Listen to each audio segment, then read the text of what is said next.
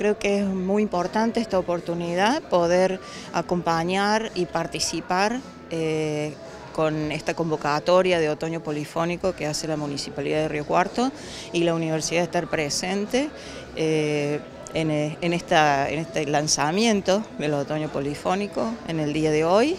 Y y bueno, y participar también a través de otras eh, áreas en todas las instancias, en toda la grilla, la hermosa grilla que propone este año el otoño polifónico.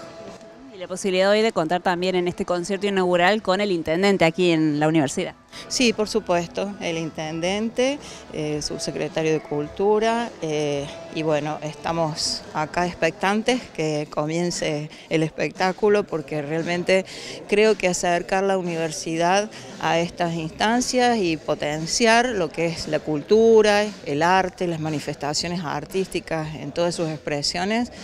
hacia el interior de la universidad también es sumamente valioso. Y además el coro de la universidad y otros elencos de nuestra Casa de Estudios también van a participar en puntos de la ciudad en el marco de este ciclo. Exactamente, también activamente el Departamento de Arte y Cultura de la Secretaría de Extensión va a estar participando, eh, también el ensamble, el coro de la universidad, en distintos... Eh, puntos de lo que es esta extensa grilla que yo les decía que convoca artistas locales y eso es también muy valioso y eh, por supuesto artistas que se destacan a nivel nacional e internacional.